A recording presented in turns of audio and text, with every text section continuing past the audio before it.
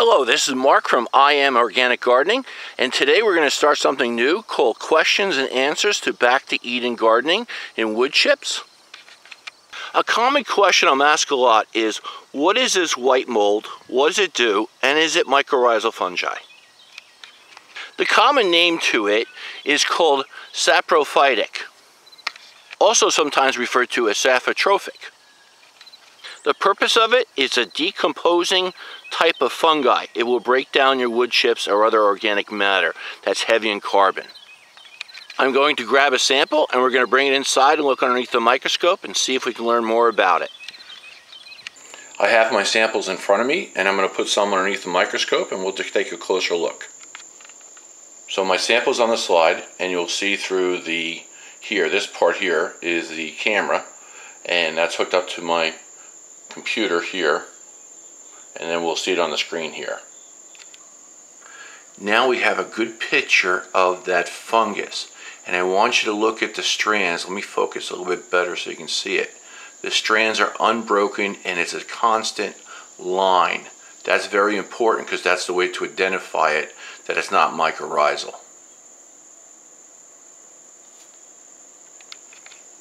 So I'm going to go with the spelling in uh, what they identify it as you know, off the Soil Food Web chart, saprophytic fungi.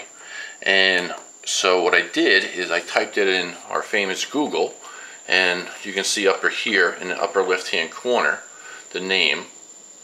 And then this is what it comes up with if you want more information.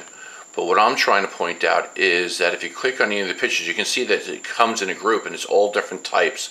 More of a a ground cover or along a log and also even mushroom shape. But if you click on this and open that up, and then there's other pictures that you can click on, and this is the ones that you see mostly likely in your soil or what's on the wood chips that I brought in, and then you click on that image, it will bring you into the definition of it even further through Wikipedia.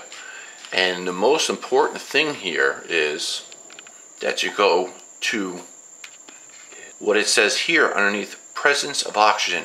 Very few saprotrophic, now they use that word, organism can endure anaerobic conditions as evidenced by their growth above the media such as water in soil. It doesn't like to be too wet, but it needs a lot of moisture to maintain itself or grow, but it can't live in water or in the soil. So you can see here in the diagram that I also Googled is that you can see the difference between septate hyphae and non-septate hyphae. Now septate hyphae here is mycorrhizal fungi hyphae. Now you'll see these areas here, which is the septate, and that's the difference between the growth. In the non-septate, which is the fungus that you saw on the wood, you'll see that it grows here and it's all one piece. It doesn't have the divisions or breaks in between. That's the difference between mycorrhizal fungi and also uh, the, the wood fungus.